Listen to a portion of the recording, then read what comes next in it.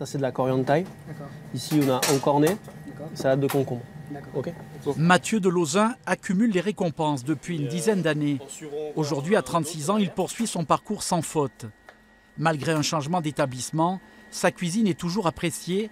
Son talent de chef méritait bien de retrouver son étoile.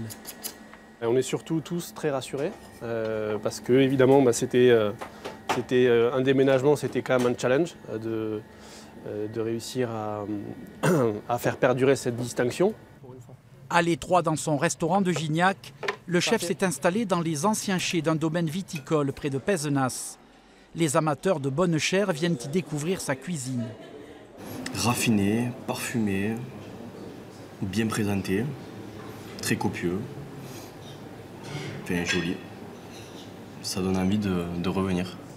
Les fidèles, eux, ne s'en lassent pas. Un peu de la truffe noire par-dessus. Voilà, bon appétit.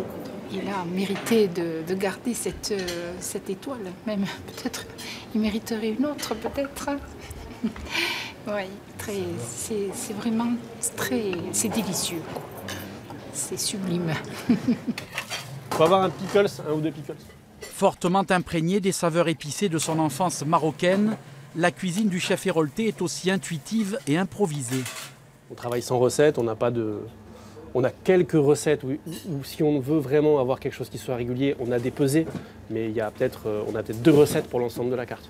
On adapte en fait, on adapte toujours euh, sans cesse la cuisine aux produits qu'on a et aux résultats qu'on veut avoir.